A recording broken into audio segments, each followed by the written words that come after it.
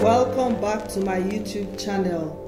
For new viewers, kindly subscribe and click the notification bell so that you can get notified each time I drop a video. My name is Ese Anibor. I'm talking about comparative anatomy of integumentary system of vertebrates. This is part 2 of the lecture. I'm taking a look at the fish integumentary system. The skin of the fish has the following layers you have the outer layer of epidermis, the inner layer of the dermis, and deepest layer is the hypodermis. You also have multicellular glands, which you find in some fishes, like the electric organs and then the electric rays. Luminescent glands are also present in deep sea fishes. Mucous glands are all unicellular. You have important modifications of the skin in form of dermal scales that cover the body and this serves for protection. The skin of the fish is illustrated right here. Very important, we must not forget that you have bony fishes, the cartilaginous fishes and the jawless fishes. The jawless fishes belong to the class Agnatha. You, they have ostracoderms and placoderms which are dermal scales that function as armor. The hagfishes and lampreys, which are jawless fishes, have smooth skin without dermal scales. The epidermis is composed of stacked layer of numerous epidermal cells. The skin of hagfishes are characterized by the presence of thread cells. The dermis is arranged into regular layers of fibrous connective tissue you have the cells tying themselves in a knot in a way that cleans off mucus from the bodies of the fish. The hypodermis of the fish consists of adipose tissue. Taking a look at the jawless fishes, they have relatively thick skin. Then as you can see in the illustration here, the lamprey and the hagfish, they are both jawless fishes. You have several types of epidermal glandular cells which secrete the protective cuticle that covers the skin of the jawless fishes. You also have multicellular slime glands which secrete large amount of mucus to cover the body surface and this serves for protection. Now talking about the skin of bony fishes. The dermis is subdivided into a superficial layer of loose connective tissue and a deep layer of dense fibrous connective tissue. There are chromatophores which occur within the dermis. You have dermal scales on the skin of bony fishes which do not actually pierce the epidermis. So the bony fishes are illustrated here with the brown bullhead and the bow fish. Now taking a look at the skin of cartilaginous fishes, you can see the cookie cutter shark here and the manta ray. Both of them are cartilaginous fishes. The skin is multi-layered and contains mucus and sensory cells. The, that's the epidermis. The dermis contains bones in the form of placoid scales called denticles. The denticles contain blood vessels and nerves and is very similar to vertebrate teeth. There are glands also present. You have club cells which are elongated binucleated cells and these secrete mucus. There are also granular cells. The granular cells secrete mucus in the skin of lampreys and other fishes. Goblet cells are also present with their narrow base and wide apical ends. And of course, they secrete mucus in chondrocytes and osteocytes. Sacciform cells are also present. These secrete large membrane-bound toxic products to repel enemies. A good look at the skin of the birds reveals that the birds possess thin skin that's loosely attached to the body and this allows for free movement of the wings during flight. The birds have feathers and the feathers are very good and characteristic modifications of the skin of the bird. The feathers not only cover the entire body but they are very useful as far as flight is concerned. The skin of the bird has three layers. You have the epidermis which is the outmost layer. Deep to the epidermis you have the dermis The deepest of the layers is the hypodermis. Taking a look at the birds, the integument or skin of the birds is like that of other vertebrates. It's composed of stratified epidermis and dermis. But the skin is thin and loosely attached to achieve maximum freedom of movement for flight. You have modifications of the stratum corneum. Other than the feathers, you also have horny sheets of the beaks. Scales are restricted to the lower legs, feet, webs, and base of beaks. The birds also have claws, which are usually present on the toes. The claws may also occur on one or two fingers, like you can see in the ostrich and the geese. Like the beaks, claws are also diversified and adapted to different habitats. The rest of the body of the bird is covered with feathers. It's shown that the feathers evolved from epidermal scales. The feathers protect and insulate the body.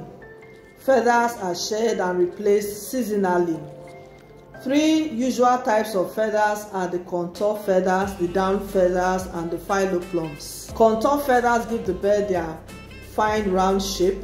The down feathers are there just at the inferior aspect and the filoplumes are the hair-like feathers.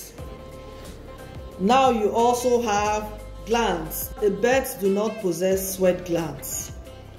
The uropygial glands secrete an oil, that's the preen oil, the bird will usually transfer the preen oil to its body during preening by rubbing its beak.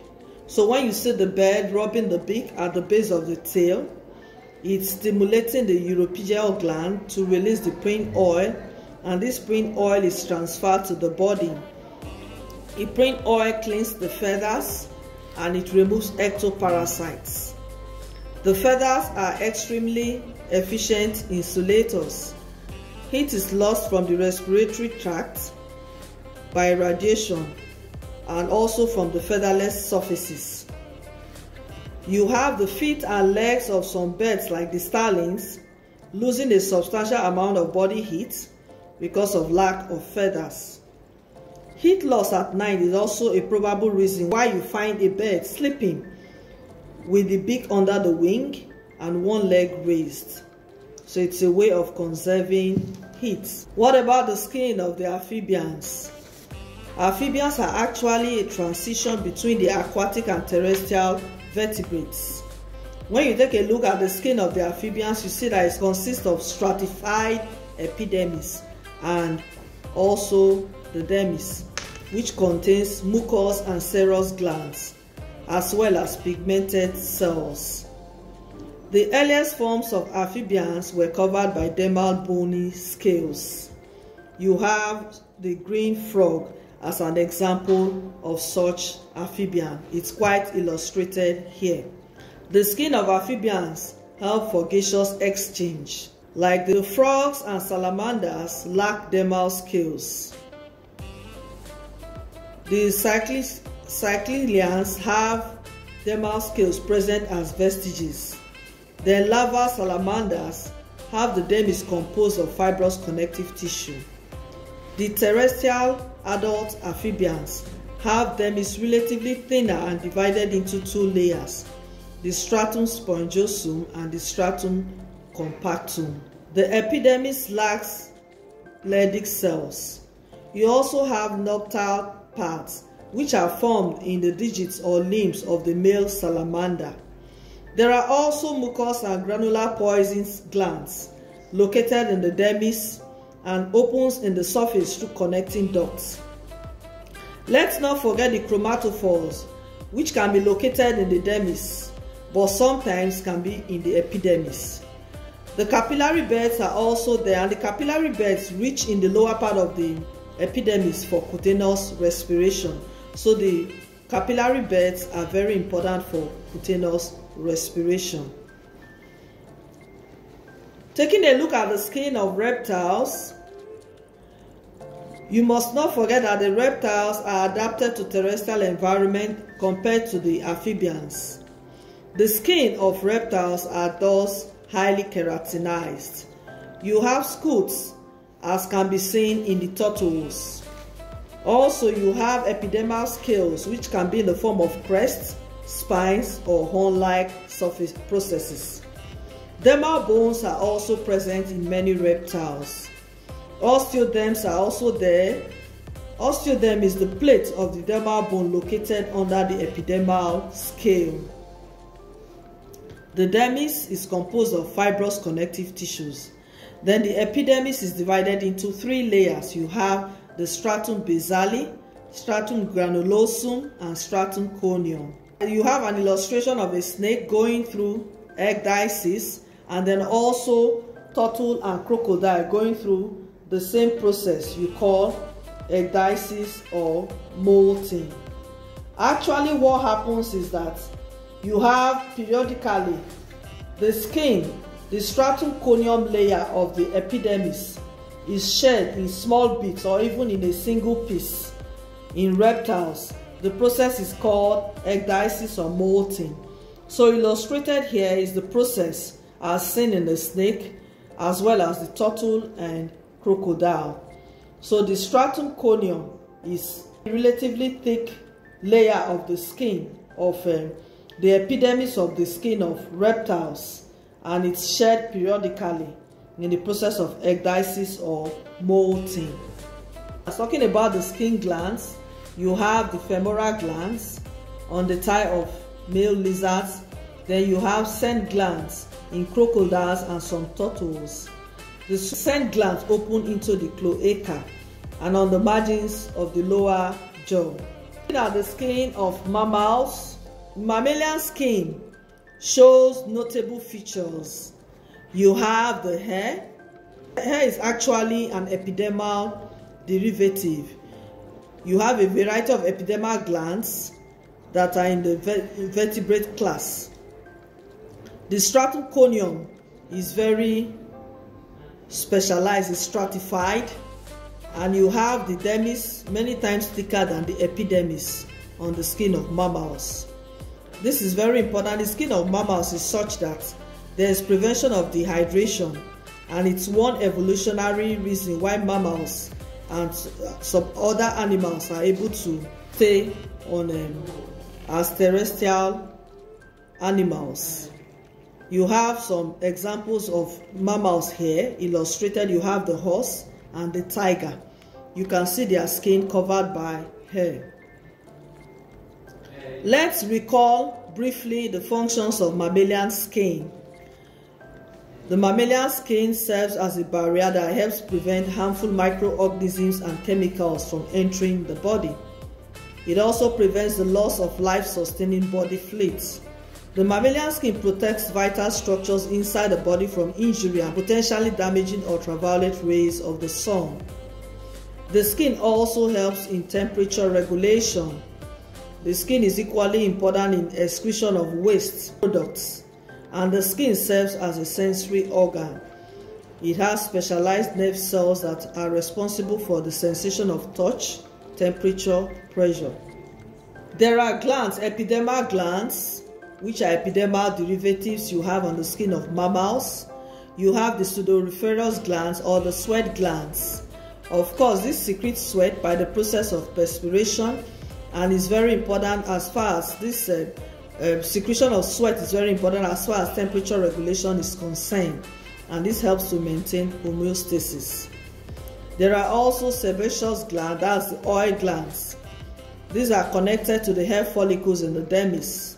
The sebaceous gland lubricate and protect the skin by secreting sebum. Sebum serves as a permeability barrier and also an emollient substance because it's very important as it defends the body against microorganisms and skin softening. Of course, the mammary gland is one important epidermal derivative that distinguishes mammals from other vertebrates. So that is why they are called mammals actually. Though the mammals actually have um, the sebaceous and sweat glands are also peculiar to mammals. The mammary glands are very important epidermal derivatives that are important in feeding the young ones. The mammary glands are actually modified apocrine sweat glands. There are other appendages you have on the skin of mammals. The hair. The hair is composed of keratin, the cells that develop from the epidermis. There are two parts of the hair. You have the shaft, which is the portion of the hair that protrudes from the skin. There is also the root, the portion of the hair embedded beneath the skin. The erector pili muscle is also an appendage that attaches to the connective tissue sheath of the hair follicle surrounding the bulb of the hair. When the erector pili muscle contracts, it pulls the follicle and its hair to erect position. This occurs in piloerection and then you, we say you have goose bumps. Nails are also appendages. Like the hair, nails are modifications of the epidermis. They are flat horny plates on the dorsal surface of the distal segment of the digits. Nails are made up of dead cells containing the protein keratin. Nail has each nail has three parts. You have the concealed roots, the body which is exposed but attached to the skin, and of course the edge. The nail grows out from the addition of new cells at the roots. Thank you so much for listening. Please don't forget to click the like button, the subscribe button and the notification bell. I hope to see you in the next video. Goodbye for now.